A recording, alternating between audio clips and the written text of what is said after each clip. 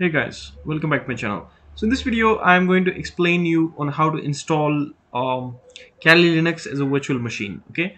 Firstly, what you need to do is, firstly you need to install a virtualization platform. Okay, uh, be it Oracle VirtualBox or VMware Pro Workstation. Anything you can uh, uh, use to host a Kali Linux virtual machine.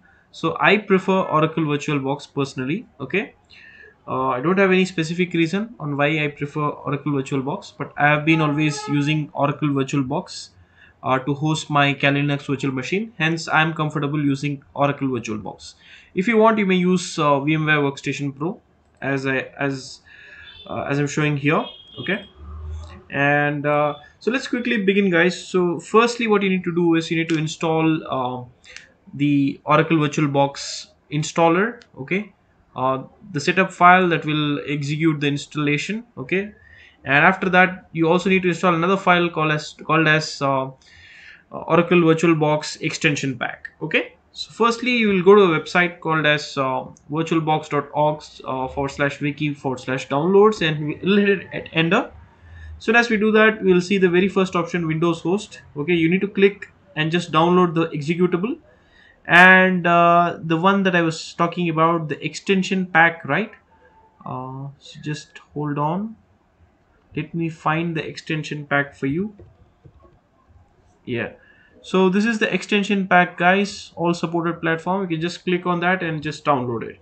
So I've already downloaded it kept two files over here guys. One is the actual installa uh, installation uh, installer executable as well as the extension pack which is applicable for any operating system platform. So all you need to do is just right click, run as administrator and say yes to it.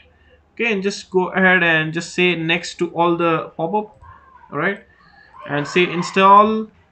And this is the most uh, recent release, guys, 7.0.x version. Okay, so it's more latest version. And then just say finish, and that's it, guys. It's very straightforward. You have completed the installation and now what you need to do is just double click and run the extension pack uh, file. Okay and just say reinstall. I have already installed it so it's coming as reinstall for me. I will say I agree and that's I'm going to install it in the background and that's done actually right? Alright and this is completely a freeware guys. It's free software open source uh, it's openly available to all okay? It does not require a license for you to use. Unlike uh, vmware workstation pro 17 requires a paid license okay?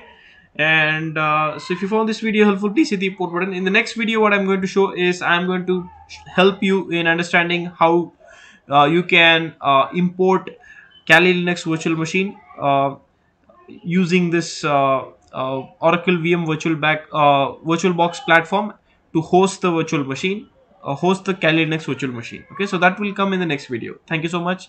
Have a wonderful day